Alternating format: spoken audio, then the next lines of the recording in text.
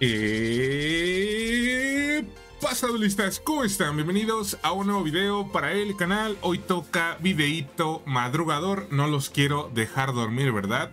Yo sé que muchos mañana tienen que ir a la escuela, tienen que trabajar, pero antes de dormir apliquen la de Vladimir, un video del tío Noren y después de eso, ahora sí, a mimir.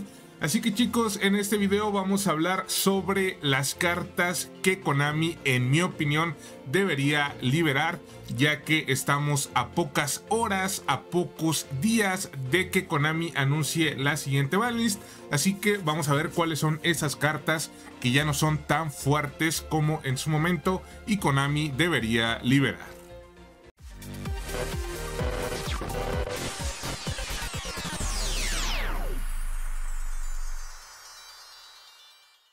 Ya me encuentro en el apartado de las cartas prohibidas y limitadas antes de comenzar con mi top 10.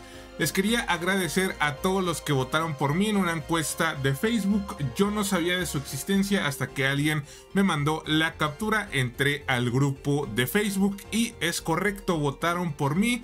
Mucha gente recomendó mi contenido, así que se los agradezco porque recuerden que el contenido lo hago siempre pensando en ustedes.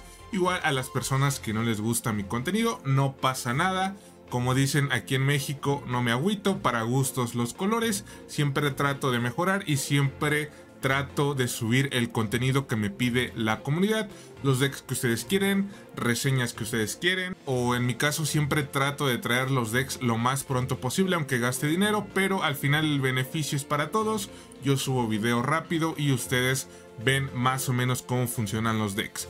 Así que una vez dicho esto chicos, vamos a aplicar la misma dinámica que en el video de las predicciones. Si le atino a tres cartas en este top 10 y Konami llega a liberar o hacer algún cambio en tres cartas de este top, voy a estar sorteando 10 estructuras, así que en total serían 20.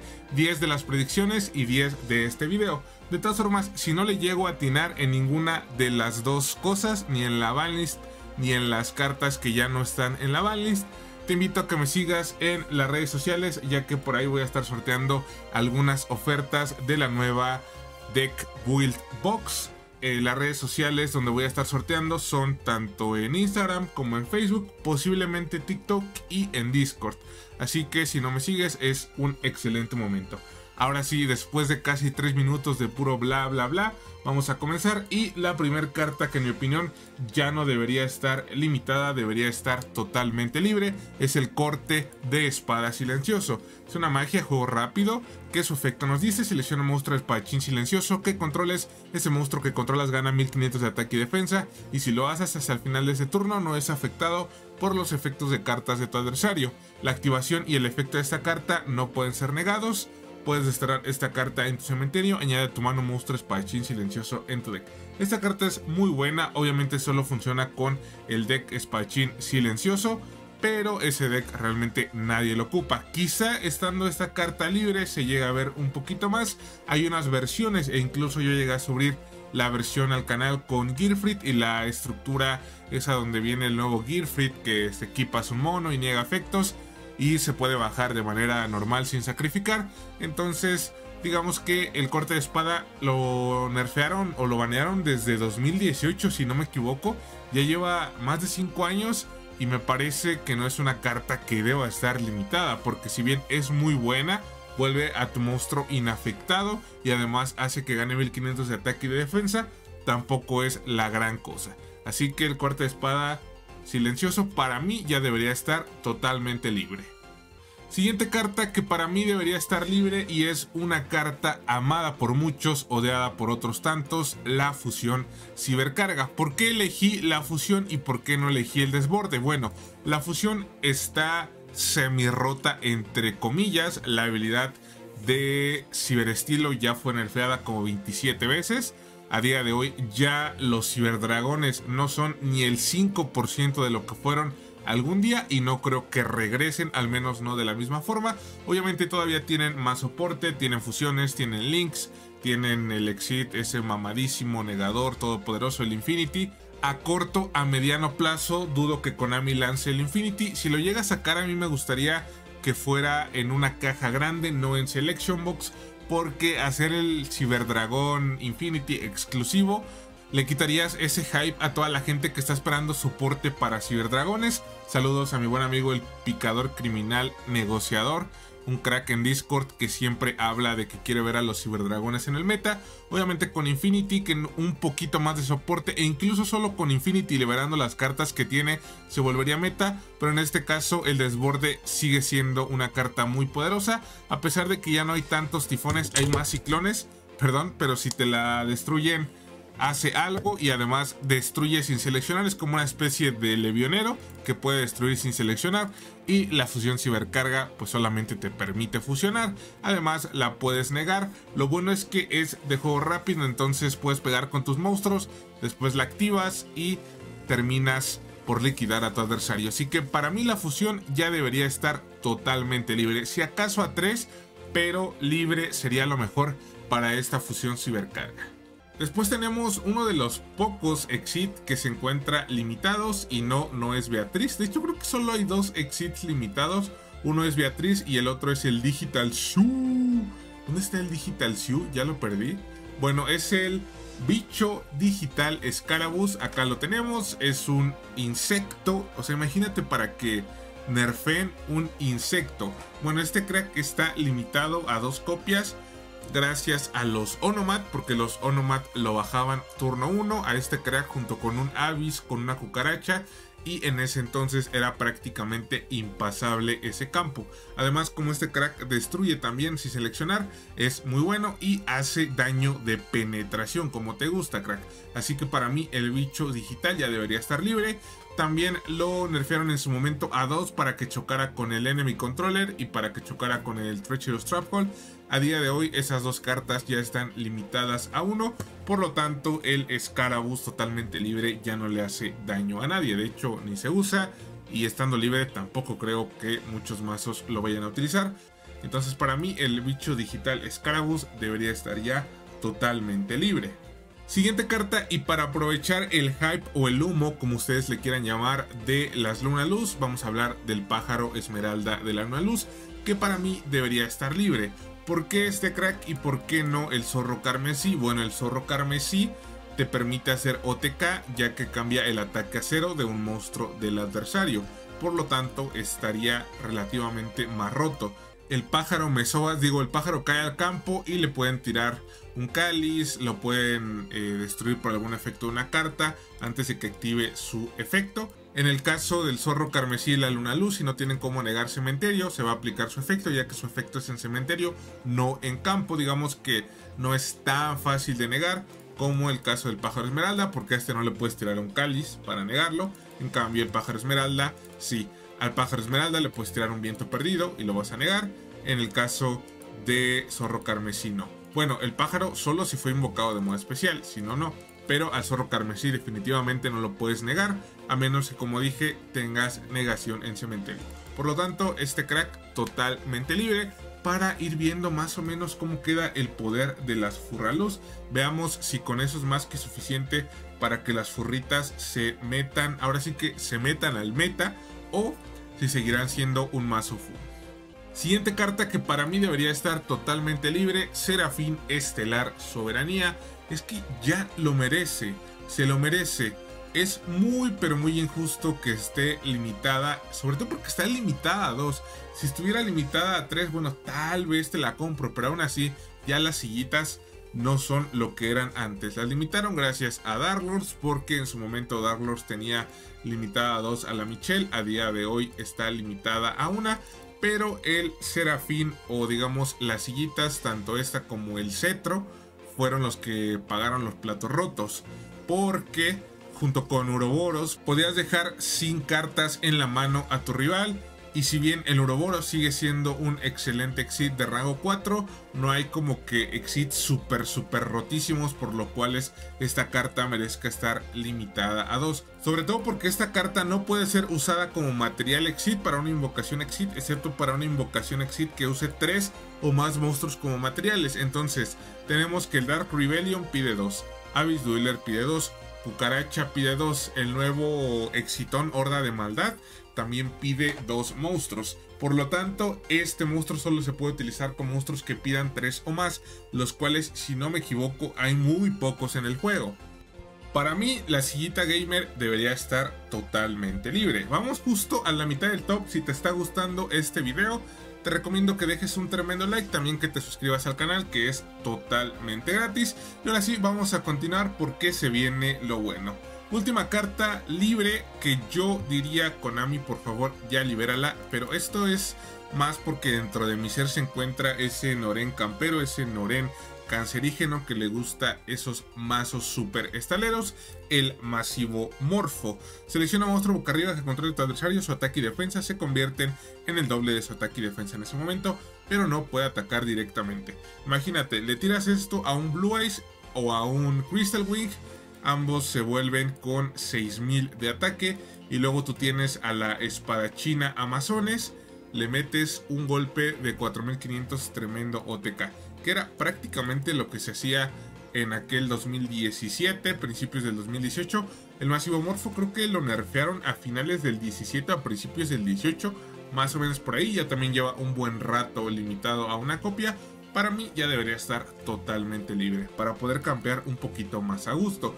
No pido cosas tan exageradas como que liberen las espadas de bambú doradas, que liberen la sirena o ese tipo de cosas. Simplemente el masivo morfo porque los amantes del Estal lo pedimos. Ahora vamos a comenzar con las limitadas a tres copias. Una carta que en mi opinión debería estar limitada a tres copias, señora Oscura y Chell. Poco a poco empezar a liberar el poder de los Dark Lord, que si bien en mi opinión yo creo que totalmente libres a estas alturas no harían demasiado. Quizás sí, quizá me estoy equivocando, ojalá, porque era uno de mis arquetipos, uno de mis mazos favoritos pero dejando Ichela 2 te vas dando cuenta si merece la pena regresarlos poco a poco.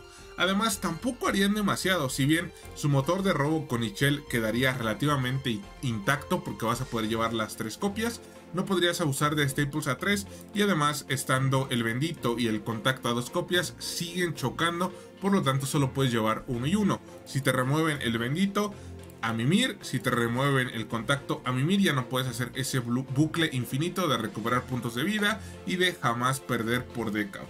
Y además, como tienes camionzotes, te podías proteger con 2900, con 2700, 2500.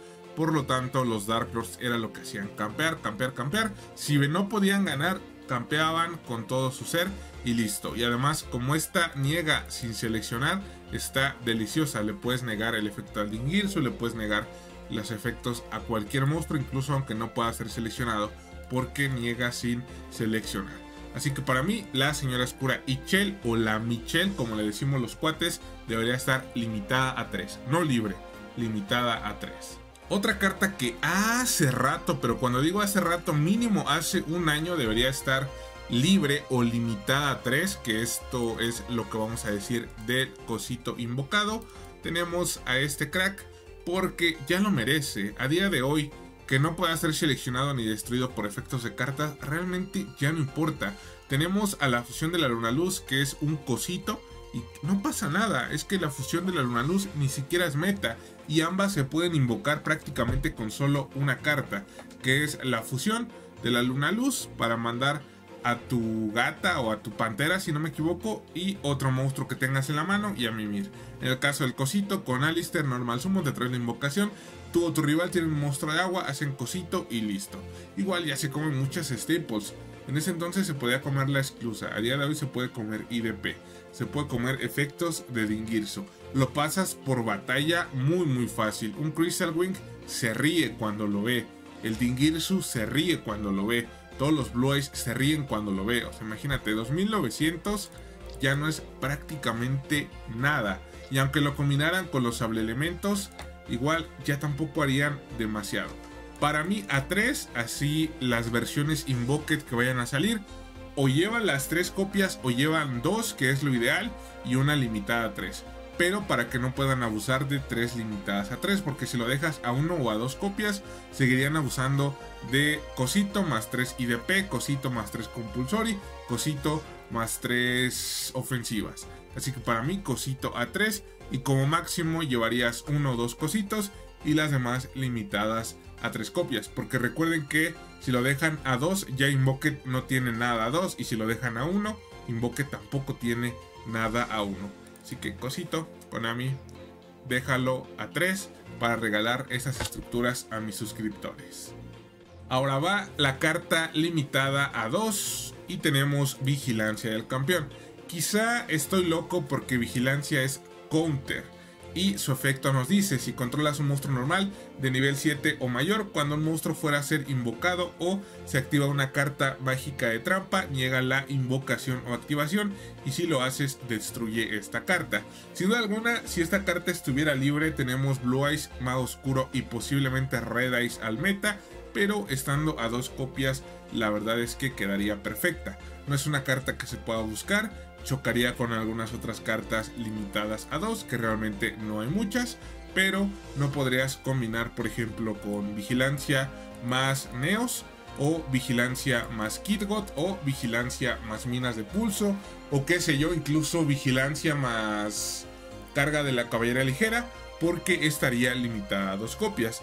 Si la dejan limitada a 3, para mí sí sería un tremendo error, porque los Blue Eyes no tienen nada a 3, bueno, solo la melodía, pero pueden llegar, entre comillas, a prescindir de ella, jugar solo una copia y dos vigilancias. Y los magos oscuros no tienen nada a 3, por lo tanto sería la gozadera con los magos y con los ojos azules. Para mí a 2 está bien, a 1 no está mal, pero es que no se ocupa. Si se utilizara a 1 te diría, no, es que no la cambies. Pero estando a 2 yo creo que sí tendría más juego, porque no solo niega magias o trampas, también niega invocaciones y eso para mí la hace tremendamente buena. Y fue nerfeada desde 2017, imagínate, 6 años ya limitada a una copia.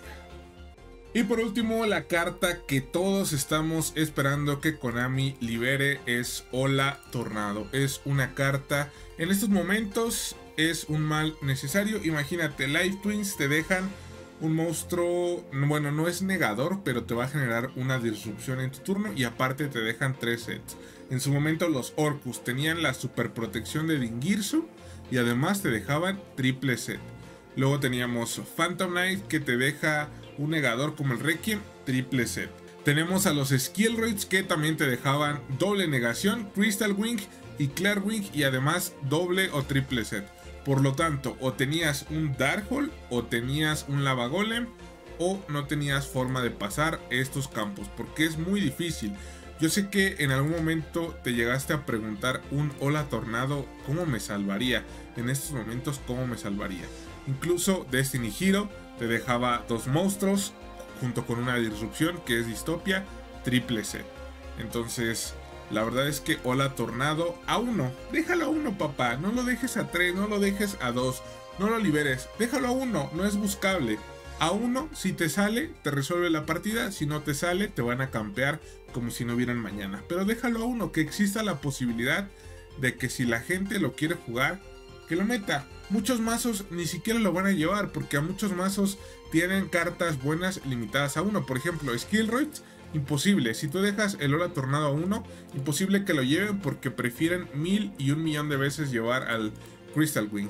Tengi, yo creo que Tengi tal vez sería 50-50 entre llevar el Draco Furioso o llevar el Hola Tornado. Aunque creo que se decantarían por el Draco Furioso. Odais, imposible que Odais lleve Hatronate porque el dragón furioso sí o sí es obligatorio para la habilidad. Por lo tanto, hay muchos mazos que no pueden llevarlo, los Blue Eyes tampoco, porque la skill no es obligatorio monstruo renacido, pero te ayuda muchísimo el monstruo renacido. Monarcas tampoco podrían. Mazos que llevan Spellbook of Knowledge, como los magos oscuros, algunas versiones tampoco. Salaman menos, porque tiene Gacela y Rugido limitado.